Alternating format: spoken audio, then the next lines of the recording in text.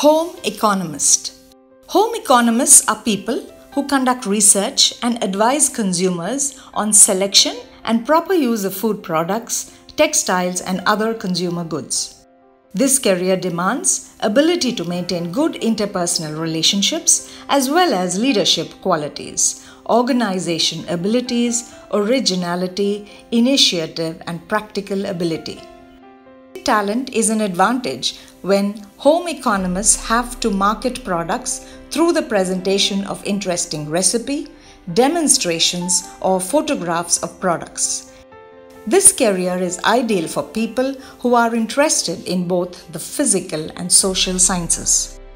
Home economists often work in a myriad of home economy related areas such as consumer science, looking at consumer behavior and habits, financial and resource management, teaching people how to manage personal resources, food and nutrition, housing, and most importantly, human development and family studies, including dynamics of human growth, development, and relationships through all life stages.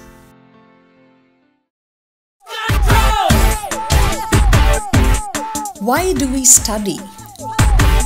What is the end of education? Isn't it careers?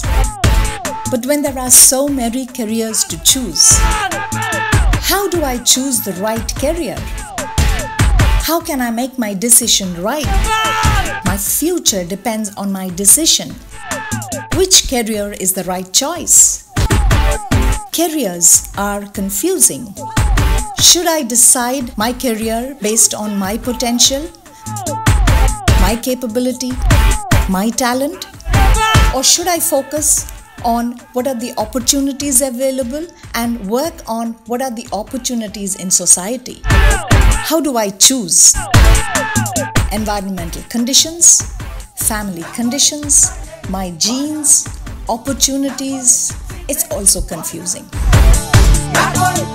Careers, a tough choice.